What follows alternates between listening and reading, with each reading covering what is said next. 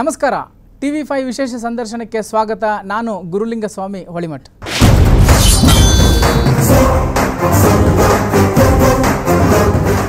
ರಾಜ್ಯದಲ್ಲಿ ಭಾರತೀಯ ಜನತಾ ಪಕ್ಷ ನೇತೃತ್ವದ ಸರ್ಕಾರ ಈಗ ಅಧಿಕಾರದಲ್ಲಿದೆ.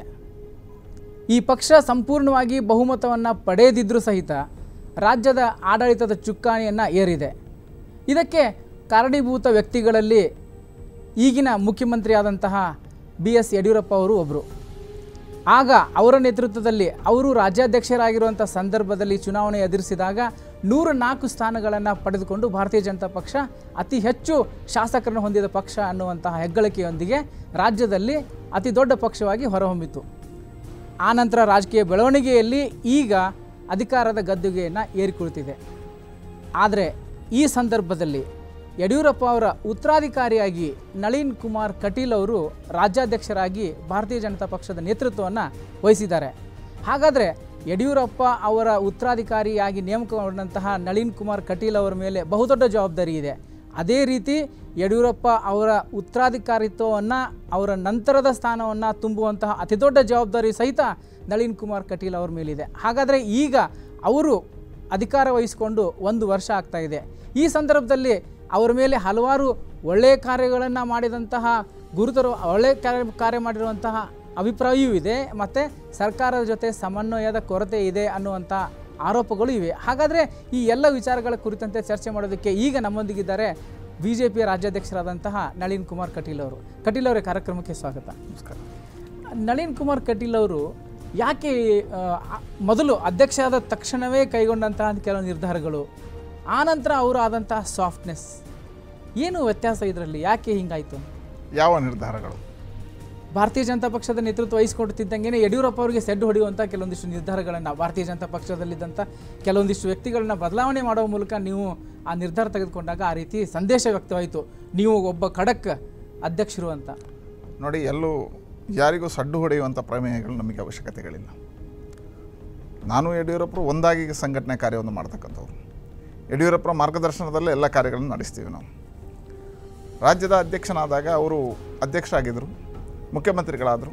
ಆಗ ನನ್ನನ್ನು ಅವರ ಅಪೇಕ್ಷೆ ಆಧಾರದಲ್ಲಿ ನಿಯುಕ್ತಿ ಆಯಿತು. ನಿಯುಕ್ತಿ ಆದಮೇಲೆ ಪಾರ್ಟಿಯ ಜವಾಬ್ದಾರಿಗಳನ್ನು ತಗೊಂಡ್ಮೇಲೆ ಏನು ಅವ್ರ ಟೀಮ್ ಇತ್ತು, ಆ ಟೀಮನ್ನು ಹಿಡ್ಕೊಂಡು ನಾವು ಮುಂದಿನ ಅವಧಿಯನ್ನು ಪೂರೈಸಬೇಕಾಯಿತು.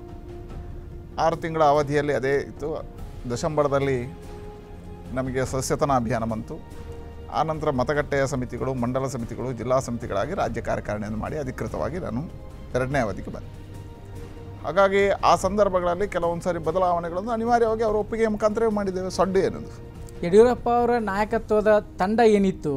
ನಾಯಕ ಬದಲಾದರು ಆದರೆ ತಂಡ ಅದೇ ಇತ್ತು. ಹಾಗಾಗಿ ತಮಗೆ ಯಾವ ರೀತಿ ಯಡಿಯೂರಪ್ಪ ಅವರ ತಂಡದಿಂದ ಸಹಕಾರ ಸಿಗಬೇಕಾಗಿತ್ತು? ಆ ಸಹಕಾರ ಸಿಗಲಿಲ್ಲ ಸಂಪೂರ್ಣ ಸಿಕ್ಕಿದೆ. ನಾವು ಒಂದಾಗಿ ಕೆಲಸ ಮಾಡಿದೆ. ಯಡಿಯೂರಪ್ಪರ ಮಾರ್ಗದರ್ಶನದಲ್ಲೇ ಮಾಡಿದೆ. ಆ ಟೀಮ್ ಪೂರ್ಣವಾಗಿ ನಮ್ಮ ಜೊತೆ ಇತ್ತು. ಜೊತೆಯಾಗಿ ಕೆಲಸ ಮಾಡಿದೆ. ಅದರ ಪರಿಣಾಮ, ಆ ಟೀಮ್ ಒಂದಾಗಿದ್ದ ಅದರ ಪರಿಣಾಮ. ಯೋಚನೆ ಮಾಡಿ. ಮಹಾನಗರ ಪಾಲಿಕೆ ಚುನಾವಣೆಗಳು ಎರಡು ಬಂತು. ದಾವಣಗೆರೆ ಮತ್ತು ಮಂಗಳೂರು ಎರಡರಲ್ಲಿ ಗೆದ್ದೆವು. ಬೆಂಗಳೂರಿನ ಮೇಯರ್ ಆಯ್ಕೆ ಆಗಬೇಕಿತ್ತು. ಮೇಯರ್ ಆಯ್ಕೆ ಆಯಿತು. ಹಿಂದೆ ನಮ್ಮಲ್ಲಿ ಇರಲಿಲ್ಲ. ಮೇಯರ್ ಆಯ್ಕೆಯಲ್ಲಿ ಬಿ ಜೆ ಪಿ ಅಧಿಕಾರಕ್ಕೆ ಬಂತು. ಬೈ ಇಲೆಕ್ಷನ್ ಬಂತು. ಹದಿನೈದು ಚಾ ಸ್ಥಾನಗಳ ಉಪಚುನಾವಣೆಗಳು, ಹದಿಮೂರು ಸ್ಥಾನಗಳನ್ನು ಗೆದ್ದೆವು. ನಾವು ಒಟ್ಟಾಗಿ ಟೀಮ್ ಆಗಿ ಕೆಲಸ ಮಾಡಿರೋದರ ಪರಿಣಾಮ ಈ ಗೆಲುವುಗಳಾಯಿತು. ಹಾಗಾಗಿ ಒಂದಾಗಿ ನಾವು ಟೀಮ್ ಆಗಿ ಕೆಲಸ ಮಾಡಿದೆವು ಹಾಗಾಗಿ ಯಶಸ್ವಿಯಾಗಿದ್ದೇವೆ ಆದರೂ ಸಹಿತ ಪಕ್ಷದ ಕಾರ್ಯಕರ್ತರು ಬಹಳಷ್ಟು ಅಸಮಾಧಾನಿತರಾಗಿದ್ದಾರೆ. ಯಾಕೆ ಅಸಮಾಧಾನದಲ್ಲಿದೆ? ಯಾವ ಕಾರ್ಯಕರ್ತರು ಅಸಮಾಧಾನದಲ್ಲ ನಾನು ಭಾಳ ಹೆಮ್ಮೆಯಿಂದ ಹೇಳಬಲ್ಲೆ. ಯೋಚನೆ ಮಾಡಿ. ಸಾಮಾನ್ಯನಾಗಿರ್ತಕ್ಕಂಥ ಸಾಮಾನ್ಯ ಕಾರ್ಯಕರ್ತ ಅಶೋಕ್ ಗಸ್ತಿಯವರು ಒಂದು ಮತಗಟ್ಟೆಯಿಂದ ಬಂದಿರತಕ್ಕಂಥವ್ರು. ಒಂದೇ ಒಂದು ಬಾರಿ ವಿಚಾರ ಮತ್ತು ಸಿದ್ಧಾಂತಕ್ಕೆ ನಿಷ್ಠರಾಗಿ ಕೆಲಸ ಮಾಡಿರ್ತಕ್ಕಂಥವ್ರು. ಒಂದೇ ಒಂದು ಸಾರಿ ಅಪೇಕ್ಷೆಗಳಿರಲಿಲ್ಲ, ನಾನು ಎಂ ಪಿ ಆಗಬೇಕು ಅಂತ. ಒಂದೇ ಒಂದು ಮನವಿ ಕೊಡಲಿಲ್ಲ ಅವರು ನಮಗೆ. ಆದರೆ ಅವರನ್ನು ಇವತ್ತು ರಾಜ್ಯದ, ರಾಜ್ಯಸಭೆಗೆ ಆಯ್ಕೆ ಮಾಡಿರ್ತಕ್ಕಂಥ ಕೆಲಸ ನಮ್ಮ ಪಾರ್ಟಿ ಮಾಡಿದೆ. ಈರಣ್ಣ ಕಡಾಡಿ ಅವರು ಜಿಲ್ಲಾ ಪಂಚಾಯತ್ನ ಅಧ್ಯಕ್ಷ ಅಧ್ಯಕ್ಷರಾಗಿದ್ದರು, ಜಿಲ್ಲಾ ಪಂಚಾಯತ್ನ ಕೆಲಸ ಮಾಡ್ತಾಯಿದ್ರು ಪಾರ್ಟಿ ಕೆಲಸ ಮಾಡ್ತಿದ್ರು ಇವತ್ತು ರಾಜ್ಯಸಭೆಗೆ ಆಯ್ಕೆ ಆಗಿದ್ದಾರೆ. ಶಾಂತರಾಮ್ ಸಿದ್ದಿ ವನವಾಸಿಗಳ ಮಧ್ಯೆ ಕೆಲಸ ಮಾಡಿರ್ತಕ್ಕಂಥ ಒಬ್ಬ ಕಾರ್ಯಕರ್ತ. ಆ ಕಾರ್ಯಕರ್ತನ ಇವತ್ತು ವಿಧಾನ ಪರಿಷತ್ತಿಗೆ ಕಳಿಸುವಂಥ ಕೆಲಸ ಆಗಿದೆ. ಒಬ್ಬ ಪ್ರತಾಪ್ ಸಿಂಹ ನಾಯಕರು, ನನ್ನ ರಾಜ್ಯ, ನಾನು ಸಂಘಟನಾ ಕಾರ್ಯದರ್ಶಿ ಆಗಿದ್ದಾಗ ನನಗೆ ಜಿಲ್ಲಾಧ್ಯಕ್ಷ ಆಗಿದ್ದವರು ನಮ್ಮಂಥ ಹತ್ತಾಕಾರರು ಕಾರ್ಯಕರ್ತರನ್ನು ಬೆಳೆಸಿದವರು. ಅಂತಹ ನಿಷ್ಠಾವಂತ ಕಾರ್ಯಕರ್ತ ಇವತ್ತು ವಿಧಾನ ಪರಿಷತ್ತಿಗೆ ಹೋಗ್ತಾರೆ. ಕೇವಲ ಹತ್ತು ಹದಿನೈದು ಜನ ಖಂಡಿತ ಇಲ್ಲ, ಖಂಡಿತ ಇಲ್ಲ. ಆದ್ರೆ ನಿಮ್ಮ ಪಕ್ಷದಲ್ಲಿ ಒಂದು ಕೋಟಿ ಜನ ಸದಸ್ಯರಿದ್ದಾರೆ. ಹೇಳ್ತೇನೆ ನಿಮ್ಗೆ ಆಶ್ಚರ್ಯ ಆಗ್ಬೋದು. ನಮ್ಮ ಪಾರ್ಟಿ ವಿಶೇಷತೆ ಇದೆ ನಮ್ಮ ಪಾರ್ಟಿಯಲ್ಲಿ ಇವತ್ತು ಮತಗಟ್ಟೆಯಿಂದ ಜಿಲ್ಲೆಗಳವರೆಗೆ ನಾವು ತಗೊಂಡಿರುವಂಥ ಪದಾಧಿಕಾರಿಗಳ ಪಟ್ಟಿ ತೆಗೆದರೆ ಒಂದೊಂದು ಜಿಲ್ಲೆಯಲ್ಲಿ ಮೂವತ್ತು ಸಾವಿರ ಕಾರ್ಯಕರ್ತರಿಗೆ ನಾವು ಜವಾಬ್ದಾರಿಗಳನ್ನು ಕೊಟ್ಟಿದ್ದೇವೆ. ಪಾರ್ಟಿ ಮತ್ತು ಸರ್ಕಾರ ಎರಡರಲ್ಲೂ ಜವಾಬ್ದಾರಿಗಳನ್ನು ಕೊಟ್ಟಿದ್ದೇವೆ. ಇವತ್ತು ಪಾರ್ಟಿಯಲ್ಲಿ ಒಬ್ಬೊಬ್ಬರನ್ನೇ ಗುರುತಿಸಿ ಗುರುತಿಸಿ ಜವಾಬ್ದಾರಿಗಳನ್ನು ಕೊಡ್ತಾ ಇದ್ದೇವೆ. ಇವತ್ತು ರಾಜ್ಯಕ್ಕೆ ಬಂದಾಗ ಲಕ್ಷಾಂತರ ಕಾರ್ಯಕರ್ತರಿಗೆ ಜವಾಬ್ದಾರಿ ನೀವು ನಾಯಕರಾಗಿ ಬರೀ ಜವಾಬ್ದಾರಿಯನ್ನು ಮಾತ್ರ ಕೊಡೋದಾ? ಅಧಿಕಾರವನ್ನು ಹಂಚಿಕೆ ಮಾಡೋದಿಲ್ವಾ? ಅಧಿಕಾರ ಹಂಚಿಕೆ ಮಾಡಿದ್ದೇವಲ್ಲ. ಇವರೆಲ್ಲರಿಗೆ ಅಧಿಕಾರವೇ ಕೊಟ್ಟದ್ದಲ್ಲ. ಎಂ ಎಲ್ ಸಿ ಕೊಟ್ಟದ್ದು ಎಂ ಪಿ ಕೊಟ್ಟದ್ದು ಅದು ಅಧಿಕಾರ. ಅದಕ್ಕಿಂತ ವಿಶೇಷ ತಿಳ್ಕೊಳ್ಳಿ. ನಿಗಮ ಮಂಡಳಿಗಳಲ್ಲಿ ನಮ್ಮ ಪಾರ್ಟಿ ಜವಾಬ್ದಾರಿ ಕೊಟ್ಟಿದ್ದೀವಿ. ಯಾರು ಯಾರು ಶಾಸಕರಿಗೆ ಮಾತ್ರ ನೀವು ಆಯ್ಕೆ ಮಾಡಿ ಯಾರು ಹೇಳಿದ್ರಿ? ನೀವು ಲೆಕ್ಕ ತೆಗೆದು ನೋಡಿ. ನಮ್ಮಲ್ಲಿ ನೀವು ಯೋಚನೆ ಮಾಡಿ. ಇಲ್ಲಿ ನಂದೀಶ್ ರೆಡ್ಡಿ ಅಧ್ಯಕ್ಷರಾಗಿದ್ದರು ಇವತ್ತು ನಿಗಮದಲ್ಲಿದ್ದಾರೆ. ನಮ್ಮಲ್ಲಿ ಮಠ ರತ್ನಾಕರ ಹೆಗಡೆ ಜಿಲ್ಲಾಧ್ಯಕ್ಷರಾಗಿದ್ದರು ನಿಗಮದಲ್ಲಿದ್ದಾರೆ ಎಂ ಎಲ್ ಎಗಳಲ್ಲ ಅವರೆಲ್ಲ ಹತ್ತಾರು ಜನ ಅಂತವರಿದ್ದಾರೆ. ಇದು ಮುಖ್ಯಮಂತ್ರಿಗಳ ಜವಾಬ್ದಾರಿ ಹೌದು. ಪಕ್ಷ ಅಧಿಕಾರಕ್ಕೆ ಬಂದಿದೆ ಪಕ್ಷದ ಪಕ್ಷ ನೋಡಿ ನಾವು ಎಲ್ಲೂ ಹಸ್ತಕ್ಷೇಪ ಮುಖ್ಯಮಂತ್ರಿಗಳ ಅಧಿಕಾರ ವ್ಯಾಪ್ತಿಗೆ ಹಸ್ತಕ್ಷೇಪ ಮಾಡೋದಿಲ್ಲ. ರಾಜ್ಯಾಧ್ಯಕ್ಷನಾಗಿ ನನಗೆಲ್ಲೋ ಅವರು ಹಸ್ತಕ್ಷೇಪ ಮಾಡಲಿಲ್ಲ. ನನಗೆ ಮಾರ್ಗದರ್ಶನ ಮಾಡ್ತಾರೆ ನನಗೆ ಸಹಕಾರಗಳನ್ನು ಕೊಡ್ತಾರೆ ಈ ರೀತಿಯಲ್ಲಿ ಹೋಗು ಅಂತ ಹೇಳ್ತಾರೆ. ಅದು ಅವರು ಜವಾಬ್ದಾರಿ. ಮಾಡೇ ಮಾಡ್ತಾರೆ. ಸಮಯ ಸಂದರ್ಭಗಳನ್ನು ನೋಡ್ಕೊಂಡು ಮುಖ್ಯಮಂತ್ರಿಗಳು ಸವಾಲನ್ನು ಎದುರಿಸ್ಕೊಂಡು ಮಾಡೇ ಮಾಡ್ತಾರೆ. ಓಕೆ ಎಚ್ ವಿಶ್ವನಾಥ್ ಅವರಿಗೆ ಎಂ ಎಲ್ ಸಿ ಮಾಡಿದ್ದೇ ಹೆಚ್ಚು ಅನ್ನುವಂಥ ಮಾತಿದೆ. ಮುಖ್ಯಮಂತ್ರಿಗಳು ಯೋಚನೆ ಮಾಡ್ತಾರೆ ಅಂತ ಹೇಳಿದೆ.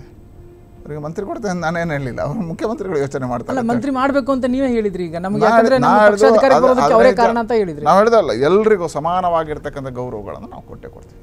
ನಮ್ಮಲ್ಲಿ ಇರ್ತಕ್ಕಂಥವ್ರಿಗೆ ಗೌರವ ಕೊಟ್ಟು ಬರ್ತಾ ಬಂದವರಿಗೂ ಗೌರವವನ್ನು ಕೊಡ್ತೀವಿ. ಆಯಿತು ಹಾಗಾದ್ರೆ ಎಚ್ ವಿಶ್ವನಾಥ್ ಅವರಿಗೆ ಮಂತ್ರಿ ಸ್ಥಾನ ಕೊಡಬೇಕು ಕೊಡಬಾರ್ದು? ನಿಮ್ಮ ಮುಖ್ಯಮಂತ್ರಿಗಳು ಯೋಚನೆ ಮಾಡ್ತಾರೆ. ಪಕ್ಷ ಏನು ಹೇಳುತ್ತಿದ್ರ ಮೇಲೆ? ಪಕ್ಷದ ಸ್ಟ್ಯಾಂಡ್ ಏನು? ಪಕ್ಷದ ಚರ್ಚೆ ಪಕ್ಷ ವೇದಿಕೆಗೆ ಚರ್ಚೆಗೆ ಬಂದಾಗ ಆ ವಿಷಯಗಳನ್ನು ತಗೋತೀವಿ. ರಾಜ್ಯ ಪಕ್ಷದ ಸರ್ಕಾರ ಅಧಿಕಾರಕ್ಕೆ ಬರುವಾಗ ಸರ್ಕಾರ ಅಧಿಕಾರಕ್ಕೆ ಬರುವಾಗ ನಿಮ್ಮನ್ನ ಏನು ಕನ್ಸಿಡರ್ ಮಾಡಲಿಲ್ವ ಯಡಿಯೂರಪ್ಪ ಅವ್ರು ಹಂಗಾದ್ರೆ? ಮಾಡೇ ಮಾಡ್ತಾರೆ. ಆಗ ನಾನು ರಾಜ್ಯಾಧ್ಯಕ್ಷ ಆಗಿರ್ಲಿಲ್ಲಲ್ಲ ಅವರೇ ರಾಜ್ಯಾಧ್ಯಕ್ಷರಾಗಿದ್ದರು ಸರಿ ಅದೇ ಅವ್ರು ಅವರು ರಾಜ್ಯಾಧ್ಯಕ್ಷರಾಗಿದ್ದರು ಅವರು ಆಗಿದ್ರು ಆಗ ತೀರ್ಮಾನ ತಗೊಂಡಿದ್ದಾರೆ ಅವರು ಸರ್ಕಾರ ಮಾಡಿದ್ದಾರೆ. ಸರ್ಕಾರ ಮಾಡಿದ ಮೇಲೆ ಅವರ ಮುಖ್ಯಮಂತ್ರಿ ಆದಮೇಲೆ ನನ್ನ ನಿಯುಕ್ತಿ ಆಗಿದೆ. ನಿಯುಕ್ತಿ ಆದಮೇಲೆ ಪ್ರತಿಯೊಂದು ವಿಷಯದಲ್ಲೂ ಚರ್ಚೆ ನಡೆಸ್ತಾರೆ. ಆ ಸಂದರ್ಭಗಳು ಬಂದಾಗ ಚರ್ಚೆ ಈಶ್ವರಪ್ಪ ಅವರು ಪದೇ ಪದೇ ಮಾತು ಹೇಳ್ತಾರೆ ಸರ್ಕಾರ ಬರೋದಕ್ಕೆ ಈ ಹದಿನೇಳು ಜನ ಕಾರಣ ಅಂತ ಹೇಳ್ತಾರೆ. ಈಗ M T B Nagaraj R Shankar ಅವರಿಬ್ಬರದು ಮಂತ್ರಿ ಸ್ಥಾನದಲ್ಲಿ ಮಂತ್ರಿಮಂಡಲದಲ್ಲಿ ಸ್ಥಾನ ಪಕ್ಕ ಅಂತ ಹೇಳಲಾಗ್ತಾ ಇದೆ. ಎಚ್ ವಿಶ್ವನಾಥ್ ಅವರನ್ನ ತಗೋಬೇಕೋ ತಗೋಬಾರ್ದು ರಾಜ್ಯಾಧ್ಯಕ್ಷರಾಗಿ ನಿಮ್ಮ ವೈಯಕ್ತಿಕ ಅಭಿಪ್ರಾಯ ಏನು ಮುಖ್ಯಮಂತ್ರಿಗಳು ತೀರ್ಮಾನ ತಗೋತಾರೆ. ಅದಕ್ಕೆ ಸಂದರ್ಭಗಳು ಬಂದಾಗ ನಾವು ಚರ್ಚೆಗಳನ್ನು ಪಾರ್ಟಿ ವೇದಿಕೆಯಲ್ಲಿ ಮಾಡ್ತೀವಿ. ಅಂದ್ರೆ ನೀವು ಸ್ಪ- ಸ್ಪಷ್ಟವಾಗಿ ನೀವು ಅದ್ರ ಬಗ್ಗೆ ಏನು ಪಾರ್ಟಿ ವೇದಿಕೆಯಲ್ಲಿ ಅದನ್ನು ಮುಂದೆ ಕೆಡ್ತಾರೆ. ಚರ್ಚೆಗಳು ಬಂದಾಗ ಆ ಸಂದರ್ಭ ಈಗ ಚರ್ಚೆಗಳು ಬಂದಿಲ್ಲ. ಆ ಯೋಚನೆಗಳು ಬಂದಿಲ್ಲ. ಮಂತ್ರಿಮಂಡಲ ಮಾಡಬೇಕು ಮಂತ್ರಿಯ ವಿಸ್ತರಣೆ ಅಥವಾ ಮಂತ್ರಿಗೆ ತಗೊಳ್ಬೇಕು ಅಂತ ಆದಾಗ ಪಾರ್ಟಿ ಕೋರ್ ಕಮಿಟಿ ಇದೆ. ಅಲ್ಲಿ ಮುಖ್ಯಮಂತ್ರಿಗಳು ಚರ್ಚೆ ಮಾಡ್ತಾರೆ. ಆಗ ನಮ್ಮ ಅಭಿಪ್ರಾಯಗಳನ್ನು ಮಂಡನೆ ಮಾಡ್ತಾರೆ ಓಕೆ ಮುಖ್ಯಮಂತ್ರಿಗಳು ಸಡನ್ ಆಗಿ ಈ ನಿಗಮ ಮಂಡಳಿಗೆಲ್ಲ ನೇಮಕಾತಿಯನ್ನು ಮಾಡಿ ಆದೇಶ ಹೊರಡಿಸಿದ್ರು. ಬಹಳಷ್ಟು ಜನ ಎಂ ಎಲ್ ಎಗಳು ನಾನು ಅದಕ್ಕೆ ಅಧಿಕಾರ ಸ್ವೀಕರಿಸಲ್ಲ. ಯಾಕಂದರೆ ಐದು ಸಾರಿ ಗೆದ್ದವರು ನಾಲ್ಕು ಸಾರಿ ಗೆದ್ದವರು ಅದರಲ್ಲಿ ಇದ್ರು ಬಗ್ಗೆ ಏನು ಹೇಳ್ತೀರಿ ನೀವು? ಯಡಿಯೂರಪ್ಪ ಅವರು ಕೈಗೊಂಡಂತ ಪ್ರಕಟ ಮಾಡಿದಂತ ನಿರ್ಧಾರ ಮಂತ್ರಿಗಳು ಎಲ್ಲರಿಗೂ ಎಲ್ರಿಗೂ ಸಮಾನವಾಗಿರ್ತಕ್ಕಂಥ ಗೌರವ ಕೊಡಬೇಕು ಜವಾಬ್ದಾರಿಗಳನ್ನು ಕೊಡಬೇಕು ಅಂತ ತೀರ್ಮಾನ ತಗೊಂಡಿದ್ರು ನಮ್ಮ ಹತ್ರವೂ ವ್ಯಕ್ತಪಡಿಸಿದ್ದಾರೆ. ನಮ್ಮ ಚರ್ಚೆಗಳಲ್ಲಿ ನಮ್ಮ ಹತ್ರವೂ ಸಲಹೆಗಳನ್ನು ಕೇಳ್ಕೊಂಡೇ ಮಾಡಿದ್ದಾರೆ ಅಭಿಪ್ರಾಯಗಳನ್ನು ತಗೊಂಡಿದ್ದಾರೆ. ಶಾಸಕರುಗಳಿಗೆ ಕೊಟ್ಟಾಗ ಒಂದಷ್ಟು ಶಾಸಕರುಗಳು ಹೇಳಿದ್ದವುದು ಏನು ಹೇಳಿದ್ದಾರೆ? ನಮಗೆ ಆ ಕಾರಣ ಹೇಳಿಲ್ಲ ಅವರು. ಅವ್ರು ಏನು ಹೇಳಿದ್ದಾರೆ ಹೇಳಿದ್ರೆ ಸಹಜವಾಗಿ ನಾನು ಶಾಸಕನಿದ್ದೇನೆ ನನ್ನ ಕ್ಷೇತ್ರದ ಕಾರ್ಯಕರ್ತರಿಗೆ ಕೊಡಿ ಹಾಗಾಗಿ ನಾನು ಬಿಟ್ಟು ಕೊಡ್ತೇನೆ ಅಂತ ಹೇಳಿದ್ದಾರೆ. ನೇರವಾಗಿ ನಾನು ಯಡಿಯೂರಪ್ಪ ಅವರ ನಿರ್ಧಾರ ಧಿಕ್ಕರಿಸ್ತೇನೆ ಅಂತ ಹೇಳುವಂಥ ಧೈರ್ಯ ಯಾರಿಗಿದೆ ಸರ್? ಧೈರ್ಯ ಪಾರ್ಟಿ ವೇದಿಕೆಗಳಿದ್ದಾರೆ ಪಾರ್ಟಿಯಲ್ಲಿ ಹೇಳ್ಬೋದಲ್ಲ. ಎಲ್ಲೂ ಹೇಳಿಲ್ಲಲ್ಲ ಯಾರು? ಭಯ. ಭಯ ಯಾಕೆ ಇರಬೇಕು? ಮುಖ್ಯಮಂತ್ರಿಗಳ ಹತ್ರ ಭಯ ಯಾಕೆ ಇರಬೇಕು? ಮುಖ್ಯಮಂತ್ರಿಗಳು ಭಯ ವಾತಾವರಣ ಎಲ್ಲೂ ಸೃಷ್ಟಿ ಮಾಡಲಿಲ್ಲ. ಮುಖ್ಯಮಂತ್ರಿಗಳು ಯಾರು ಬಂದರೂ ಆತ್ಮೀಯತೆಯಿಂದ ಮಾತಾಡ್ತಾರೆ. ಎಲ್ಲಿದೆ ಭಯ? ನಿಮ್ಮ ಜೊತೆ ಮಾತ್ರ ಆತ್ಮೀಯತೆಯಿಂದ ಮಾತಾಡ್ತಾರೆ. ಎಲ್ಲರ ಹತ್ರ ಆತ್ಮೀಯತೆಯಿಂದ ಮಾತಾಡ್ತಾರೆ. ಎಲ್ಲರ ಹತ್ರ ವಿನಯದಿಂದ. ಎಲ್ಲರೂ ನಿಮ್ಗೆ ಗೊತ್ತಿರಲಿ ಯಡಿಯೂರಪ್ಪರು ಈಗ ಇರುವುದರಲ್ಲಿ ನಮ್ಮ ಹಿರಿತನದ ಒಬ್ಬ ಮಾರ್ಗದರ್ಶನ ಮಾಡ್ತಕ್ಕಂಥ ಸ್ಥಾನದಲ್ಲಿರ್ತಕ್ಕಂಥ ಹಾಗಾಗಿ ಸಹಜವಾಗಿರ್ತಕ್ಕಂಥ ಗೌರವ ಮತ್ತು ಅಭಿಪ್ರಾಯದಲ್ಲಿ ಶಾಸಕರು ಮಾತನಾಡೋದಿಲ್ಲ ಬಿಟ್ಟರೆ ಬಾಕುಡ್ದವ್ರು ಯಾರು ಹೋದರೂ ಅವರು ತಾಯಿ ಹೃದಯ ಮುಖ್ಯಮಂತ್ರಿಗಳದ್ದು ಭಾಳ ಚೆನ್ನಾಗಿ ಪ್ರೀತಿಯಲ್ಲಿ ಮಾತನಾಡ್ತಾರೆ. ನೀವು ಸುಳ್ಳು ಹೇಳ್ತಿದ್ದೀನಿ ಅಂತ ಅನ್ಕ ಅನಿಸ್ತಾ ಇಲ್ಲ ನಿಮಗೆ? ಯಾಕ್ರಿ? ನಾನು ನೇರ ಮಾತುಕತೆ ಮಾಡೋ? ನೀವು ಎಷ್ಟು ನೇರ ಇದ್ದೀರೋ ಅಷ್ಟೇ ನೇರ ಎಷ್ಟು ಜನ- ಎಷ್ಟು ಜನ ನನ್ನ ಅಭಿಪ್ರಾಯವನ್ನು ಹೇಳಿದ್ದೇನೆ. ಅದು ಸುಳ್ಳು ಅಂತ ನೀವು ಹೇಗೆ ಹೇಳ್ತೀರಿ? ಎಷ್ಟು ಜನ ಶಾಸಕರು ನಿಮ್ಮ ಮುಂದೆ ದೂರ ಯಾರು ದೂರಲಿಲ್ಲ. ನೋಡಿ ಯಡಿಯೂರಪ್ಪ ಅವರು. ಐದು ಪೈಸೆ ಹಣ ಕೊಡ್ತಾ ಇಲ್ಲ ಅನ್ನೋ ದೂರ ಅದು ದೂರ ಅಲ್ಲ ವಾಪಸ್ ಹೇಳ್ತಾ ಇದ್ದೇನೆ. ನೀವು ಊಹಾಪೋಹಗಳನ್ನು ದೂರು ಅಂತ ಹೇಳಬಾರ್ದು. ಶಾಸಕರುಗಳು ಆಗಿದ್ದಾರೆ ಸ, ನಮ್ಮ ಸರ್ಕಾರ ಬಂದಿದೆ. ನಮ್ಮ ಸರ್ಕಾರ ಬಂದಾಗ ಸವಾಲಿನ ಮಧ್ಯೆ ಸರ್ಕಾರ ನಡೆದಿದೆ. ಮುಖ್ಯಮಂತ್ರಿಗಳಾದರೂ ನೆರೆ ಮತ್ತು ಬರ ಆಯಿತು. ಆ ಬೈ ಇಲೆಕ್ಷನ್ ಬಂತು. ಉಪಚುನಾವಣೆಗಳು. ಉಪಚುನಾವಣೆಗಳು ಬಂದ ಮೇಲೆ ಎರಡು ತಿಂಗಳು ಅದರಲ್ಲಿ ಹೋಯಿತು. ಆ ನಂತರ ಬಜೆಟ್ ಕೊಡಬೇಕಿತ್ತು. ಬಜೆಟ್ ಕೊಡೋ, ಇರಬೇಕಿದ್ರೆ ಕೋವಿಡ್ ಬಂತು. ಆರು ತಿಂಗಳು ಅದರಲ್ಲಿ ಹೋಯಿತು. ಅದರ ಮಧ್ಯೆ ಸರ್ಕಾರ ನಡೆಸಿದ್ದಾರೆ ಅವರು. ಆರ್ಥಿಕ ಹೊಡೆತ ಬಿದ್ದಿದೆ. ಹಾಗಾಗಿ ಸಹಜವಾಗಿ ನಮ್ಮ ಶಾಸಕರುಗಳಿಗೆ ಅಪೇಕ್ಷೆಗಳಿದೆ. ನಮ್ಮ ಕ್ಷೇತ್ರದ ಅಭಿವೃದ್ಧಿ ಆಗಬೇಕು. ನಮ್ಮ ಕ್ಷೇತ್ರಕ್ಕೆ ಅನುದಾನಗಳನ್ನು ಕೊಡಬೇಕು. ಕೇಳಿದ್ದಾರೆ ಶಾಸಕರುಗಳು. ಆ ಭಾವನೆಗಳನ್ನು ವ್ಯಕ್ತಪಡಿಸಿದ್ದಾರೆ. ನಮ್ಮ ನಮ್ಮ ಕ್ಷೇತ್ರಗಳಿಗೆ ಅನುದಾನಗಳು ಹೆಚ್ಚು ಬೇಕು, ಅದನ್ನು ಕೊಡಿ ಅಂತ ಹೇಳುವಂಥದ್ದು ಮುಖ್ಯಮಂತ್ರಿಗಳೆಲ್ಲ ಹೇಳಿದ್ದಾರೆ. ನಮ್ಮ ಹತ್ರ ಹೇಳಿದ್ದಾರೆ. ಅದನ್ನು ಮುಂದಿನ ದಿನಗಳಲ್ಲಿ ನಾನು ಜೋಡಿಸ್ತೇನೆ ಅಂತೇಳಿ ಮುಖ್ಯಮಂತ್ರಿಗಳು ವಿಶ್ವಾಸ ವ್ಯಕ್ತಪಡಿಸಿದ್ದಾರೆ. ಹಾಗಾಗಿ ಅದು ಭಾವನೆ ಅದು. ಅವರು ಸಹಜವಾಗಿ ಅದು ಅವರ ಕರ್ತವ್ಯ. ಅವ್ರ ಕ್ಷೇತ್ರಗಳಿಗೆ ಅನುದಾನಗಳನ್ನು ಕೇಳುವಂಥದ್ದು ಅವ್ರ ಕರ್ತವ್ಯ. ಅದಕ್ಕೆ ಸಭೆ ಸೇರುವಂಥದ್ದು ಕರ್ತವ್ಯ. ಅದಕ್ಕೆ ಮೀಟಿಂಗ್ ಮಾಡುವಂಥದ್ದು ಕರ್ತವ್ಯ ಅವ್ರದ್ದು. ಶಾಸಕರು ಅವರ ಕ್ಷೇತ್ರಗಳಿಗೆ ಕೇಳಬೇಕು ಕೇಳಿದ್ದಾರೆ. ಹಾಗಾದರೆ ಅಭಿವೃದ್ಧಿಗೆ ಅನುದಾನ ಕೊಡೋದಕ್ಕೆ ಮುಖ್ಯಮಂತ್ರಿಗಳಿಗೆ ಏನು ಸಮಸ್ಯೆ ಆಗ್ತಾ ಇದೆ? ಸಹಜ ಇದೆ ನಾನು ಹೇಳಿದೆ ಅಲ್ಲ ಕೋವಿಡ್ನ ಕಾರಣಕ್ಕೆ ಬಾಕಿ ಉಳಿದಂಥ ಕಾರಣಕ್ಕೆ ಆರ್ಥಿಕವಾಗಿರ್ತಕ್ಕಂಥ ಸಮಸ್ಯೆಗಳು ಸರ್ಕಾರದಲ್ಲಿದೆ. ಹೇಳಿದ್ದಾರೆ ಈಗ ಜೋಡಿಸ್ತಾನೆ ಮುಂದಿನ ದಿನಗಳಲ್ಲಿ ಜೋಡಿಸ್ತಾರೆ. ಆದರೂ ಕಳೆದ ಆರು ವರ್ಷ ಸಿದ್ದರಾಮಣ್ಣ ಸರ್ಕಾರ ಮತ್ತು ಕುಮಾರಸ್ವಾಮಿ ಅವರು ಕೊಡುವ ಸರ್ಕಾರ ಕೊಟ್ಟ ಕೊಡುವುದಕ್ಕಿಂತ ಹತ್ತು ಪಟ್ಟು ಹೆಚ್ಚು ನಮ್ಮ ಸರ್ಕಾರ ಕೊಟ್ಟಿದೆ. ಶಾಸಕರುಗಳ ಏರಿಯಾಗಳಿಗೆ ಕ್ಷೇತ್ರಗಳಿಗೆ ಅಭಿವೃದ್ಧಿ ಕಾರ್ಯಕ್ಕೆ. ಅತಿ ಹೆಚ್ಚು ಕೊಟ್ಟಿದೆ. ಒಂದು ಸಾರಿ ಒಬ್ಬ ನಾಯಕ ಅಂತ ಒಪ್ಪಿದ ಮೇಲೆ ಅವನೊಂದು ನಾಯಕ ಇವತ್ತು ನಮಗೆ ಜನನಾಯಕ ಒಬ್ಬರೇ ಯಡಿಯೂರಪ್ಪ. ಅವ್ರ ಹಿಂದೆ ನಾವಿರ್ತಕ್ಕಂಥದ್ದು. ಹಾಗೆ ಮುಂದಕ್ಕೆ ನಮ್ಮ ಹಿರಿಯರು ಯೋಚನೆ ಮಾಡ್ತಾರೆ. ಯಾರ್ಯಾರನ್ನು ಯಾವ್ಯಾವ ಕಾಲಕ್ಕೆ ತರಬೇಕು ಅಂತ ತರ್ತಾರೆ. ಈಗ ಕ್ಷೇತ್ರಗಳಿಗೆ ಅನುದಾನ ಹಂಚಿಕೆ ವಿಚಾರದಲ್ಲಿ ಬಹಳಷ್ಟು ಜನ ಶಾಸಕರಿಗೆ ಅಸಮಾಧಾನ ಇದೆ. ಏನಿಲ್ಲ. ಇಪ್ಪತ್ತೈದು ಇಪ್ಪತ್ತೈದು ಕೋಟಿ ಒಬ್ಬೊಬ್ಬ ಶಾಸಕನ ಅನುದಾನಗಳ ಕ್ಷೇತ್ರಗಳಿಗೆ ಕೊಟ್ಟಿದ್ದಾರೆ. ಆದರೂ ಇನ್ನೂ ಭಾವನೆಗಳನ್ನು ವ್ಯಕ್ತಪಡಿಸಿದರೆ ಕೊಡಿ ಅಂತ ನಮ್ಮ ಸರ್ಕಾರ ಇದೆ, ಕೊಡಿ ಅಂತ ಕೇಳ್ತಾರೆ. ಅದು ನೋವಿಲ್ಲ ಅದರಲ್ಲಿ. ಭಾವನೆಗಳನ್ನು ನಮ್ಮ ಕೊಡಿ ಅಂತ ಕೇಳಿದ್ದಾರೆ. ಅದು ಬೇಡಿಕೆ, ನೋವಲ್ಲ ಅದು. ಈ ಭಾರತೀಯ ಜನತಾ ಪಕ್ಷದ ಅಧಿಕ್ ಅಧ್ಯಕ್ಷರಾದ ನಂತರ ತಾವು ಇಡೀ ರಾಜ್ಯ ಸುತ್ತಿದ್ದೀರಿ. ಎಲ್ಲ ಕಡೆ ಹೋಗಿ ಬಂದಿದ್ದೀರಿ. ಆದರೆ ಅಧ್ಯಕ್ಷರು ಪ್ರಚಾರ ಪ್ರಿಯರಲ್ವೋ ಅಥವಾ ನಿಮಗೆ ಪ್ರಚಾರ ಸಿಗ್ತಾ ಇಲ್ವೋ, ಭಾರತೀಯ ಜನತಾ ಪಕ್ಷದ ಅಧ್ಯಕ್ಷರು ಮಾಡ್ತಾ ಇರೋ ಕೆಲಸಕ್ಕೆ ಹೆಚ್ಚು ಏನು ಪ್ರಾಧಾನ್ಯತೆ ಸಿಗ್ತಾ ಇಲ್ವಾ ಅಂತ? ಹಾಗೇನಿಲ್ಲ. ನಾವು ಪ್ರಚಾರದ ಹಿಂದೆ ಕೆಲಸ ಮಾಡ್ತಕ್ಕಂಥದ್ದಲ್ಲ. ಭಾರತೀಯ ಜನತಾ ಪಾರ್ಟಿ ಪ್ರಚಾರಕದ ಮೇಲೆ, ಪ್ರಚಾರದ ಮೇಲೆ ನಂಬಿಕೆಯನ್ನು ಇಟ್ಟಿಲ್ಲ. ನಾವು ಕಾರ್ಯದ ಮೇಲೆ ನಂಬಿಕೆ ಇಟ್ಟಿರ್ತಕ್ಕಂಥ ನಿಮಗೆ ಆಶ್ಚರ್ಯ ಆಗ್ಬೋದು. ನಾವು ಏಳು ರೌಂಡ್ ಪ್ರವಾಸ ಹೋದೆ. ನೀವು ಪ್ರಾರಂಭದಲ್ಲಿ ನಾನು ಸ್ವಾಗತಕ್ಕೋಸ್ಕರ ಎಲ್ಲ ಕಡೆ ಅನುಭವಕ್ಕೋಸ್ಕರ ಹೋದೆ. ಐದು ಸಾವಿರ, ಆರು ಸಾವಿರ, ಏಳು ಸಾವಿರ ಜನ ಸೇರ್ತಿದ್ರು. ಎರಡನೇ ಬಾರಿ ಜಿಲ್ಲಾಧ್ಯಕ್ಷರ ಪದಗ್ರಹಣಕ್ಕೆ ಹೋದೆ ಎಂಟು ಸಾವಿರ, ಹತ್ತು ಸಾವಿರ. ಹಾಸನದಲ್ಲೇ ನನ್ನ ಸಭೆ ನಡೀತಿತ್ತು. ಏ- ಆರು, ಏಳು ಸಾವಿರ ಜನ ಇದ್ದರು ಆ ಪಕ್ಕದಲ್ಲಿ ದೇವೇಗೌಡರ ಸಭೆ ನಡೀತು. ಎರಡು ಸಾವಿರ ಜನ ಇತ್ತು. ಆರು, ಏಳು ಸಾವಿರ ಜನ ಇತ್ತು. ಪ್ರಚಾರಗಳನ್ನು ಆಗ ತಗೊಂಡಿದ್ದೇವೆ. ಈಗ ಕೋವಿಡ್ನ ಸಂದರ್ಭದಲ್ಲಿದ್ದೇವೆ. ಈಗ ಸರ್ಕಾರ ಒಂದು ಕಾನೂನು ಮತ್ತು ನಿಯಮ ಮಾಡಿದೆ. ಆ ಕಾನೂನು ನಿಯಮವನ್ನು ಪಾಲನೆ ಮಾಡಬೇಕಾದ್ದು ಒಬ್ಬ ರಾಜ್ಯಾಧ್ಯಕ್ಷನಾಗಿ ನನ್ನ ಜವಾಬ್ದಾರಿ. ಅದಕ್ಕೋಸ್ಕರ ಕೇವಲ ಪದಾಧಿಕಾರಿಗಳ ಸಭೆ ಮಾಡ್ತಾ ಇದ್ದೇವೆ. ಎಲ್ಲೂ ಪ್ರಚಾರ ಪ್ರೆಸ್ಗಳನ್ನು ಕರೀತಾ ಇಲ್ಲ. ಕೇವಲ ಸಭೆ ಸಂಘಟನೆಯನ್ನು ಕ್ರಿಯಾಶೀಲತೆಯಲ್ಲಿ ಇಟ್ಕೋಬೇಕು. ನಾವು ಹೇಳಿರುವಂಥ ಕೆಲಸ ಕಾರ್ಯಗಳನ್ನು ಮತಗಟ್ಟೆಯವರೆಗೆ ಇಳಿಸಬೇಕು. ಅದಕ್ಕೋಸ್ಕರ ಪ್ರಚಾರ ಇಲ್ಲದೆ ನಮ್ಮ ಕಾರ್ಯವನ್ನು ವಿಸ್ತಾರ ಮಾಡ್ತಾ ಇದ್ದೇವೆ. ಮತಗಟ್ಟೆಯನ್ನು ಗಟ್ಟಿ ಮಾಡ್ತಾ ಇದ್ದೇವೆ. ನಮ್ಮದು ಇದು ಕ್ಯಾಡ್ರ್ ಬೇಸ್, ವರ್ಕರ್ ಆಧಾರಿತ, ಲೀಡರ್ ಆಧಾರಿತ ಅಲ್ಲ. ಹಾಗಾಗಿ ಆ ವರ್ಕರ್ಸ್ಗಳನ್ನು ಏನು ಮಾಡ್ತಾ ಇದ್ದೇವೆ ಈಗ? ಪೇಜ್ ಪ್ರಮುಖರನ್ನು ಮಾಡ್ತಾ ಇದ್ದೇವೆ. ಆ ಗಟ್ಟಿ ಅದು ಯಾಕಂದ್ರೆ ಪೇಜ್ ಪ್ರಮುಖ ಅಂತ ಹೇಳುವಂಥದ್ದು ಗುಜರಾತ್ನ ಒಂದು ಮಾದರಿ ಅದು ಭಾಳ ಚೆನ್ನಾಗಿ ಆದರೆ ಅಲ್ಲಿ ಸಂಘಟನಾತ್ಮಕವಾಗಿ ಬಲ ಬರ್ತದೆ. ಆ ಕಾರ್ಯವನ್ನು ಈಗ ವಿಸ್ತಾರ ಮಾಡ್ತದೆ ಅದಕ್ಕೋಸ್ಕರ ಪ್ರವಾಸ ಮಾಡ್ತಾ ಇದೆ. ಪ್ರಚಾರವನ್ನು ಕೊಡ್ತಾ ಇಲ್ಲ. ಪಕ್ಷದಲ್ಲಿ ಹಲವಾರು ವರ್ಷಗಳಿಂದ ದುಡಿದಂತಹ ಕಾರ್ಯಕರ್ತರಿದ್ದಾರೆ. ನೀವೇ ಹೇಳಿದ್ರಿ ಕೇಡ್ರ್ ಬೇಸ್ಡ್ ಅಂತ. ಇಪ್ಪತ್ತು ವರ್ಷಗಳಿಂದ ದುಡ್ಕೊಂಡು ಬಂದಂಥವ್ರಿಗೆ ಇದುವರೆಗೂ ಸಹಿತ ಯಾವುದೇ ಹುದ್ದೆ ಸಿಕ್ಕಿಲ್ಲ. ಆ ಹುದ್ದೆಯನ್ನು ಕಲ್ಪಿಸುವಂಥ ಜವಾಬ್ದಾರಿ ರಾಜ್ಯಾಧ್ಯಕ್ಷರದ ಖಂಡಿತ ಮಾಡ್ತೇವೆ ನೋಡಿ ನೋಡಿ ಹೇಳಿದೆಲ್ಲ ನಾನು. ಐವತ್ತು ವರ್ಷ ಕಾದ ಪ್ರತಾಪ್ ಸಿಂಹರಿಗೆ ಈಗ ಸಿಕ್ಕಿದೆ. ನಲವತ್ತು ವರ್ಷ ಕಾದ ಗ ಅಶೋಕ್ ಗಸ್ತಿಗೆ ಈಗ ಸಿಕ್ಕಿದೆ. ಸಹಜವಾಗಿ ಎಲ್ಲರನ್ನ ನಾವು ಗುರುತಿಸಿ ಗುರುತಿಸಿ ಜವಾಬ್ದಾರಿಗಳನ್ನು ಕೊಡ್ತಾ ಇದ್ದೇವೆ. ನಿಗಮ ಮಂಡಳಿಗಳಿಗೂ ಈಗ ಹೆಸರುಗಳನ್ನು ಪಾರ್ಟಿ ಕಡೆಯಿಂದ ಕೊಡ್ತಾ ಇದ್ದೀವಿ. ಮಾಡ್ತಾ ಇದ್ದೀವಿ. ಅವಕಾಶಗಳಿದ್ದಾವೆ ಇನ್ನೂ ಮೂರು ವರ್ಷ ಇದೆ. ಮಾಡಿಯೇ ಮಾಡ್ತೀವಿ. ಕೇಂದ್ರದಲ್ಲೂ ಮಾಡ್ತೀವಿ, ರಾಜ್ಯದಲ್ಲೂ ಮಾಡ್ತೀವಿ. ಎಲ್ಲ ಕಾರ್ಯಕರ್ತರನ್ನು ಗುರುತಿಸಿ. ಹೊಸ ಹೊಸ ಕಾರ್ಯಕರ್ತರಿದೆ ಯುವ ಪೀಳಿಗೆ. ಅವರೆಲ್ಲರಿಗೂ ಪಾರ್ಟಿಯಲ್ಲಿ ಜವಾಬ್ದಾರಿ ಕೊಡ್ತೀವಿ. ಒಂದು ಹತ್ತು ವರ್ಷ ಪಾರ್ಟಿ ಕೆಲಸ ಮಾಡಲಿ. ಮತ್ತೆ ನಿಗಮ ಮಂಡಳಿ ಕೊಡ್ತೀವಿ ಅವರಿಗೂ. ರಾಜ್ಯ ಸರ್ಕಾರದೊಂದಿಗೆ ನಳಿನ್ ಕುಮಾರ್ ಕಟೀಲ್ ಅವರು ಸಮನ್ವಯವನ್ನು ಅಷ್ಟಾಗಿ ಇಟ್ಕೊಂಡಿಲ್ಲ ಅನ್ನುವಂತಹ ಒಂದು ಆರೋಪ. ಮತ್ತು ರಾಜ್ಯದಲ್ಲಿ ನಾಯಕತ್ವ ಬದಲಾವಣೆ ವಿಚಾರ ಕುರಿತಂತೆ ಬಹಳಷ್ಟು ಕೂಗೆದ್ದಿದೆ ಈ ಬಗ್ಗೆ ನೀವು ಪ್ರಶ್ನೆ ಕೇಳ್ತೀನಿ. ಒಂದು ಸಣ್ಣ ವಿರಾಮದ ಬಳಿಕ.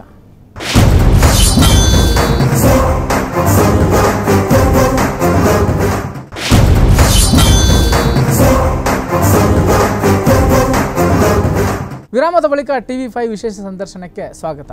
ಸರ್ ಈಗ ಮಂತ್ರಿಮಂಡಲ ವಿಸ್ತರಣೆ ಆಗುತ್ತೋ ಅಥವಾ ಪುನರ್ರಚನೆ ಆಗುತ್ತೋ ಇದ್ರ ಬಗ್ಗೆ ಬಹಳಷ್ಟು ಗೊಂದಲಗಳು ಸೃಷ್ಟಿಯಾಗಿವೆ. ರಾಜ್ಯಾಧ್ಯಕ್ಷರಾಗಿ ನೀವು ಏನು ಹೇಳೋದಕ್ಕೆ ಇಷ್ಟಪಡ್ತೀರಿ? ನಿಮ್ಮ ಮನಸ್ಸಲ್ಲಿ ಏನಿದೆ? ಮಂತ್ರಿಮಂಡಲ ಪುನರ್ರಚನೆ ಮತ್ತು ವಿಸ್ತರಣೆ. ಅದು ಮುಖ್ಯಮಂತ್ರಿಗಳಿಗೆ ಬಿಟ್ಟ ವಿಚಾರ ಮುಖ್ಯಮಂತ್ರಿಗಳು ಯೋಚನೆ ಮಾಡಿ ಸಂದರ್ಭಕ್ಕೆ ಸರಿಯಾಗಿ ಮಾಡ್ತಾರೆ. ಸರ್ಕಾರವನ್ನು ನಡೆಸ್ತಾರೆ. ಆದರೆ ಎರಡನೇ ಪ್ರಶ್ನೆ ನೀವು ಎತ್ತಿದ್ರಿ ಆಗ? ಸರ್ಕಾರ ಮತ್ತು ನನಗೆ ಸಮನ್ವಯ. ಸರ್ಕಾರ ಮತ್ತು ಪಾರ್ಟಿ ಸಮನ್ವಯತೆಯಿಂದ ಕೆಲಸ ಮಾಡ್ತಾ ಇದೆ. ಸರ್ಕಾರ ಅದರದ್ದೇ ಆಗಿರ್ತಕ್ಕಂಥ ದಾರಿಯಲ್ಲಿ ನಡೀತಾ ಇದೆ. ಸರ್ಕಾರ ಮಾಡತಕ್ಕಂಥ ಯೋಜನೆಗಳನ್ನು ಜನರಿಗೆ ತಲುಪಿಸುವಂಥ ಕೆಲಸವನ್ನು ಪಾರ್ಟಿ ಚೆನ್ನಾಗಿ ಮಾಡ್ತಾ ಇದೆ. ಇವತ್ತು ಸರ್ಕಾರದ ಒಂದು ವರ್ಷ ಸಾಧನೆ ನಾವು ಆ ಜನಾಂದೋಲನ ತೊಗೊಂಡಿದ್ದೇವೆ ಜನರ ಸಂಪರ್ಕಗಳನ್ನು ಮಾಡ್ತಾ ಇದ್ದೇವೆ ಕೋವಿಡ್ನ ಸಂದರ್ಭದಲ್ಲಿ ಸರ್ಕಾರಕ್ಕೆ ಬೇಕಾಗಿರ್ತಕ್ಕಂಥ ಪೂರ್ಣ ಸಹಕಾರವನ್ನು ಕೊಟ್ಟಿದ್ದೇವೆ. ಪ್ರತಿಯೊಂದು ಚರ್ಚೆಯನ್ನು ನಾನು ಮುಖ್ಯಮಂತ್ರಿಗಳು ನಿರಂತರವಾಗಿ ಮಾಡ್ತೇವೆ. ನಾವು ಕೇಳಿ- ಏನಂತಂದ್ರೆ ನೀವು ಹೇಳಿದ್ದಕ್ಕೆ ಉತ್ತರ ಕೊಟ್ಟು ಬಿಡ್ತೇನೆ ನೀವು ಸಮನ್ವಯತೆ ಇಲ್ಲ ಅಂತ ಹೇಳಿದ್ರೆ ಅದನ್ನು ಪೂರ್ತಿ ಮಾಡಿ. ಸಮನ್ವಯತೆ ಇದ್ದದರಿಂದಲೇ ನಾವು ಪಾರ್ಟಿ ಇಷ್ಟು ನೀವು ಪ್ರಾರಂಭದಲ್ಲಿ ನಾನು ಅಧ್ಯಕ್ಷ ಆದಾಗ ಇಲ್ಲಿ ಮಂತ್ರಿಮಂಡಲದಲ್ಲಿ ಗೊಂದಲ ಅಂತ ಒಂದು ಟಿ ವಿಗಳಲ್ಲಿ ಬರ್ತಿತ್ತು. ಎಲ್ಲಿತ್ತು ಗೊಂದಲ? ಅಸಮಾಧಾನಗಳು ಅಂತ ಹೇಳಿದ್ರು. ಎಲ್ಲಿ ಅಸಮಾಧಾನ? ಪಾರ್ಟಿ ಜ ಇದರೊಳಗೆ ಜಗಳ ಅಂತ ಹೇಳಿದ್ರು. ಎಲ್ಲಿ ಜಗಳ? ಒಂದೇ ಒಂದು ಶಬ್ದಗಳು ಹೊರಗೆ ಬಂದೆ ಒಂದೇ ಒಂದು ವಿಷಯಗಳು ನಡೆದಿಲ್ಲ. ಒಂದೇ ಒಂದು ವಿಷಯ. ಆ ನಂತರ ಮುಖ್ಯಮಂತ್ರಿಗಳು ನಮ್ಮದು ಸರ್ಕಾರ ಮತ್ತು ಪಾರ್ಟಿಯೊಳಗೆ ಸಮನ್ವಯ ಇದ್ದರಿಂದ ಕೋವಿಡ್ ನಿಯಂತ್ರಣದಲ್ಲಿ ಅದ್ಭುತ ಕೆಲಸ ಪಾರ್ಟಿ ಮಾಡಿದೆ. ನಿಮ್ಗೆ ಗೊತ್ತಿರಲಿ, ನಮ್ಮಲ್ಲಿ ನಾನು ಆಗ ಹೇಳಿದೆ. ಒಂದು ಕೋಟಿ ಅರವತ್ತೆಂಟು ಲಕ್ಷ ಜನರಿಗೆ ಆಹಾರವನ್ನು ನಮ್ಮ ಪಾರ್ಟಿ ಸೇವಾಹಿ ಸಂಘಟನೆ ಆಧಾರದಲ್ಲಿ ಕೊಟ್ಟಿದೆ. ಅರವತ್ತೆಂಟು ಲಕ್ಷ ಜನರ ಮನೆ ಬಾಗಿಲಿಗೆ ಆಹಾರ ಪೊಟ್ಟಣಗಳನ್ನು ತಲುಪಿಸಿದೆ. ನಿಮ್ಮ ಪಕ್ಷದ ಒಂದೂವರೆ ಲಕ್ಷ ಮುಖಂಡರು ಯಾರೋ ಕೊಟ್ಟಂತ ಪಕ್ಕಿ- ಕಿಟ್ಗಳ ಮೇಲೆ ಒಂದೂವರೆ ಲಕ್ಷ ಜನರಿಗೆ ಆಹಾರ ಔಷಧಗಳನ್ನು ಕೊಡ್ತಕ್ಕಂಥ ಕೆಲಸವನ್ನು ಮಾಡಿದೆ. ನಮ್ಮ ಕಾರ್ಯಕರ್ತರು ಬೆವರು ಸುರಿಸಿ ಮಾಡಿದೆ ಬೆವರು ಸುರಿಸಿ ಮಾಡಿದ್ದಾರೆ. ನೀವೆಲ್ಲೇ ಒಂದು ಘಟನೆಗಳನ್ನು ಹೇಳಬೇಡಿ. ಇಡೀ ರಾಜ ಬೂತ್ ಬೂತ್ಗಳಲ್ಲಿ ಮುನ್ನೂರ ಹನ್ನೊಂದು ಮಂಡಲಗಳಲ್ಲೂ ಕೆಲಸ ಸೇವಾ ಕಾರ್ಯ ರಾಯಚೂರದಲ್ಲಿ ಆದಂತದನ್ನು ಒಪ್ಕೊಳ್ತೀರಾ? ಎಲ್ಲೂ ಆಗಲಿಲ್ಲ. ಅಂತ ಯಾವುದೇ ಘಟನೆಗಳಾಗಲಿಲ್ಲ ವ್ಯತ್ಯಾಸಗಳಾಗಿದ್ದರೆ ನಾವು ವಿವರಣೆ ಕೇಳಿದ್ದೇವೆ ವಿವರಣೆಗೆ ಉತ್ತರ ಕೊಡ್ತಾರೆ. ನಾವು ಹೇಳ್ತಕ್ಕಂಥ ಸೇವೆಯ ಹೆಸರಿನಲ್ಲಿ ಆಗಿದೆ. ಪಾರ್ಟಿ ಸಂಘಟನೆ ಮತ್ತು ಪಾರ್ಟಿ ಸರ್ಕಾರ ಒಟ್ಟಿಗೆ ಇರೋದರಿಂದ ನಾವು ಮೊನ್ನೆ ಬೈ ಉಪಚುನಾವಣೆಯಲ್ಲಿ ಗೆದ್ದಿದ್ದೇವೆ. ವಿಧಾನ ಪರಿಷತ್ ಚುನಾವಣೆಗಳಲ್ಲಿ ಗೆದ್ದಿದ್ದೇವೆ. ರಾಜ್ಯಸಭಾ ಚುನಾವಣೆಗಳಲ್ಲಿ ಗೆದ್ದಿದ್ದೇವೆ. ಅಷ್ಟರ ಕಾಂಗ್ರೆಸ್ಸಿಂದ ಒಂದು ರಾಜ್ಯಸಭೆಗೆ ತಂದಿದ್ದೇವೆ. ವಿಧಾನ ಪರಿಷತ್ ಕಾಂಗ್ರೆಸ್ನಲ್ಲಿದ್ದವನ್ನು ತಂದಿದ್ದೇವೆ. ಮಹಾನಗರ ಪಾಲಿಕೆ ಬೆಂಗಳೂರು ಗೆದ್ದಿದ್ದೇವೆ. ಮಹಾನಗರ ಪಾಲಿಕೆ ದಾವಣಗೆರೆ ಗೆದ್ದಿದ್ದೇವೆ. ಮಹಾನಗರ ಪಾಲಿಕೆ ಮೇಯರ್ ಆಯ್ಕೆಯಾಗಿದೆ. ಪಾರ್ಟಿ ಮತ್ತು ಸರ್ಕಾರ ಒಟ್ಟಿಗೆ ಇರೋದರಿಂದ ಇದು ಯಶಸ್ವಿಯಾಗಿದೆ. ಪಕ್ಷದ ಕಾರ್ಯಕರ್ತರು ನೀವು ತಪ್ಪಾಡಿದ್ದಾರೆ ಅಂತ ಹೇಳಿ ನೀವೇ ಒಪ್ಕೊಂಡ್ರಿ ಈಗ? ಎಲ್ಲಿ ಒಪ್ಕೊಂಡೆ? ಪಾರ್ಟಿ ಕಾರ್ಯಕರ್ತರು ಎಲ್ಲಿ ತಪ್ಪು ಮಾಡಿ ಬೇರೆಯವರು ಕೊಟ್ಟಂತಹ ಎಲ್ಲಿ ಕೊಟ್ಟಿದ್ದಾರೆ? ರಾಯಚೂರಿನಲ್ಲಿ ನಿಮ್ ಗಮನ ನೀವು ನನ್ನ ಮಾತಿನ ಮಧ್ಯ ಮಾತನಾಡಿದ್ರಿ ಅದನ್ನು ಸ್ಪಷ್ಟಪಡಿಸಿನಿ ನನ್ನ ಈಗ ನಾನು ಪ್ರಶ್ನೆ ಕೇಳ್ತೀನಿ. ರಾಯಚೂರಿನಲ್ಲಿ ಒಂದು ಘಟನೆ ಆಗಿದೆ. ಸುಧಾಮೂರ್ತಿ ಅವರು ಕೊಟ್ಟಂತಹ ಕಿಟ್ಗಳ ಮೇಲೆ ತಮ್ಮ ಫೋಟೋಗಳನ್ನು ಅಂಟಿಸಿಕೊಂಡಂತಹ ಭಾರತೀಯ ಜನತಾ ಪಕ್ಷದ ಕಾರ್ಯಕರ್ತನ ವಿರುದ್ಧ ನೀವು ಕ್ರಮ ಕೈಗೊಳ್ತೀರಾ? ಎಲ್ಲೂ ಆ ರೀತಿಯ ಘಟನೆಗಳು ನಡೆದಿಲ್ಲ. ನಾವೇನೋ ಅಂತಹ ಮಾಹಿತಿಗಳು ಬಂದಲ್ಲಿ ವಿವರಣೆಯನ್ನು ಜಿಲ್ಲಾ ಟೀಮಿಂದ ಕೇಳಿದೆ ವಿವರಣೆ ಬಂದ ಮೇಲೆ ಅದಕ್ಕೆ ಉತ್ತರಿಸ್ತೇನೆ. ನಿಮ್ಮ ಗಮನಕ್ಕೆ ಯಾವುದು ಬಂದೇ ಇಲ್ಲ ಈ ರೀತಿ? ಈ ರೀತಿ ಒಂದು ಘಟನೆ ಎರಡು ಘಟನೆಗಳು ಬಂದಿದ್ದಾವೆ. ಅದಕ್ಕೆ ವಿವರಣೆ ಕೇಳಿದ್ವಿ. ವಿವರಣೆಯ ಪ್ರಕಾರ ಆಧಾರ ಸಹಿತ ತಂದು ತೋರಿಸಿ ಹೇಳಿದೆ. ತೋರಿಸಿದ ಮೇಲೆ ಕ್ರಮ ತಗೋತೀವಿ. ಈ ರಾಜ್ಯ ಸರ್ಕಾರ ಕೋವಿಡ್ ನಿಯಂತ್ರಣದಲ್ಲಿ ವಿಫಲವಾಗಿದೆ ಅಂತ ನಿಮ್ಗೆ ಅನ್ಸೋದಿಲ್ಲ ಸರ್? ಖಂಡಿತವಾಗಿಲ್ಲ ಎಲ್ಲೂ ವಿಫಲ ಆಗಿದೆ. ಆರೋಗ್ಯ ಸಚಿವರು ಮತ್ತು ವೈದ್ಯ ಶಿಕ್ಷ ವೈದ್ಯಕೀಯ ಶಿಕ್ಷಣ ಸಚಿವರ ನಡುವೆ ಸಮನ್ವಯತೆ ಇದೆ. ಯಾರು ಹೇಳಿದ್ರು ನಿಮಗೆ? ಯಾರು ಹೇಳಿದ್ರು ನಿಮಗೆ? ಅದಕ್ಕೆ ಅದಕ್ಕೆ? ಸುರೇಶ್ ಕುಮಾರ್ ಅವರಿಗೆ ಜವಾಬ್ದಾರಿ ಕೊಟ್ಟಿದ್ದೀರಿ? ಯಾರು ಹೇಳಿದ್ರು? ಸುರೇಶ್ ಕುಮಾರ್ಗೆ. ಸುರೇಶ್ ಕುಮಾರ್ಗೆ ಕೊಟ್ಟಿಲ್ಲ. ಎಲ್ಲರಿಗೂ ಕೊಟ್ಟಿದ್ದು ನೀವು ತಿಳ್ಕೊಳ್ಳಿ. ನಮ್ಮ ಸರ್ಕಾರ ಅದ್ಭುತ ಸಾಧನೆಯನ್ನು ಕೋವಿಡ್ ನಿಯಂತ್ರಣದಲ್ಲಿ ಮಾಡಿದೆ. ಅದ್ಭುತ. ಪ್ರಧಾನಮಂತ್ರಿಗಳೇ ಮೂರು ಸಾರಿ ಕರ್ನಾಟಕ ರಾಜ್ಯಕ್ಕೆ ಪ್ರಶಂಸೆಯನ್ನು ಕೊಟ್ಟಿದ್ದಾರೆ. ಪ್ರಧಾನಮಂತ್ರಿಗಳು ಸು, ಯಾರಿಗೂ ಹೀಗೆ ಸಮಾಧಾನ ಮಾಡಲಿಕ್ಕೆ ಕೊಡುವುದಿಲ್ಲ. ಪ್ರಧಾನಮಂತ್ರಿಗಳು ಬಹಳ ಜವಾಬ್ದಾರಿಯಿಂದ ಆ ಸ್ಥಾನದ ಗೌರವವನ್ನು ಉಳಿಸಿ ಮಾತನಾಡಿದ್ದಾರೆ. ನಿಮ್ಗೆ ಗೊತ್ತಿರಲಿ, ಈ ರಾಜ್ಯದಲ್ಲಿ ಕೋವಿಡ್ ಬಂದಾಗ ಲ್ಯಾಬ್ಗಳೇ ಇರಲಿಲ್ಲ. ಇವತ್ತು ನೂರು ಲ್ಯಾಬ್ರೇಟ್ರಿಗಳಾಗಿದೆ. ವೆಂಟಿಲೇಟರ್ಗಳಿರಲಿಲ್ಲ. ಇವತ್ತು ಪ್ರಾಥಮಿಕ ಆರೋಗ್ಯ ಕೇಂದ್ರದವರೆಗೆ ವೆಂಟಿಲೇಟರ್ಗಳನ್ನು ಕಳಿಸುವ ಕೆಲಸವನ್ನು ಮುಖ್ಯಮಂತ್ರಿಗಳು ಮಾಡಿದ್ದಾರೆ. ಆಸ್ಪತ್ರೆಗಳು ಹತ್ತು ಸಾವಿರ ಬೆಡ್ಡಿನ ಆಸ್ಪತ್ರೆ ಬೆಂಗಳೂರಲ್ಲಿ ಆಗಿದೆ ಸುಧಾಕರ್ ಇಲ್ಲೇ ಕೂತು ನಿಯಂತ್ರಣ ಮಾಡ್ತಕ್ಕಂಥ ಕೆಲಸವನ್ನು ಬೆಂಗಳೂರಲ್ಲಿ ಮಾಡಿದರೆ ರಾಮುಲು ಅವರು ಇಡೀ ರಾಜ್ಯ ಪ್ರವಾಸವನ್ನು ಮಾಡಿ ಆಸ್ಪತ್ರೆಯಲ್ಲೇ ಉಳಿದು ಅಲ್ಲಿಯ ಪರಿ, ಪೂರ್ತಿವಾಗಿರ್ತಕ್ಕಂಥ ತನಿಖೆಯನ್ನು ಮಾಡಿದರು. ಆನಂತರ ಇಡೀ ರಾಷ್ಟ್ರದಲ್ಲಿ ಎಲ್ಲೂ ಎಸ್ ಎಸ್ ಎಲ್ ಸಿ ಪರೀಕ್ಷೆ ಆಗಲಿಲ್ಲ, ನಮ್ಮ ರಾಜ್ಯದಲ್ಲಿ ಎಸ್ ಎಸ್ ಎಲ್ ಸಿ ಪರೀಕ್ಷೆಯನ್ನು ಮಾಡಿದರು. ಅದರ ಮಧ್ಯೆ ಮಾಡಿದರು. ಸಿ ಇ ಟಿ ಪರೀಕ್ಷೆಯನ್ನು ಮಾಡಿದರು. ಮಕ್ಕಳ ಭವಿಷ್ಯವನ್ನು ಉಳಿಸಿದರು. ಹಾಗಾಗಿ ಕೋವಿಡ್ನ ನಿಯಂತ್ರಣದಲ್ಲಿ ನಮ್ಮ ಸರ್ಕಾರ ಬಹಳ ದಿಟ್ಟತನದ ಕ್ರಮ ತಗೊಂಡಿದೆ. ಯಶ, ಯಶಸ್ವಿಯಾಗಿದೆ. ವ್ಯವಸ್ಥಿತವಾಗಿರ್ತಕ್ಕಂಥ ಕಾರ್ಯದ ಅನುಷ್ಠಾನ ಆಗಿದೆ. ಯಾರಿಗೆ ಗೊತ್ತಿತ್ತು ಕೋವಿಡ್ ಬರ್ತದಂತೆ? ಯಾರಿಗೆ ಪರಿಕಲ್ಪನೆಗಳಿತ್ತು? ಕೋವಿಡ್ ನಿಯಂತ್ರಣ, ಯಾರಿಗೆ ವಸ್ತು ಇದು? ಎಲ್ರಿಗೂ ವಸ್ತು. ಆದರೂ ಇವತ್ತು ನಾನು ದಕ್ಷಿಣ ಕನ್ನಡ ಜಿಲ್ಲೆಯಿಂದ ಬಂದೆ. ನಮ್ಮ ಒಂದು ಮತಗಟ್ಟೆಯಲ್ಲಿ ಸಮೇತ ಇವತ್ತು ಟೆಸ್ಟ್ ಮಾಡ್ತಕ್ಕಂಥ ಪ್ರಕ್ರಿಯೆಗೆ ಹೋಗಿದೆ. ಪ್ರತಿಯೊಬ್ಬನನ್ನು ಟೆಸ್ಟ್ ಮಾಡ್ತಕ್ಕಂಥ ಕೆಲಸ ಕಾರ್ಯಗಳಾಗಿದೆ.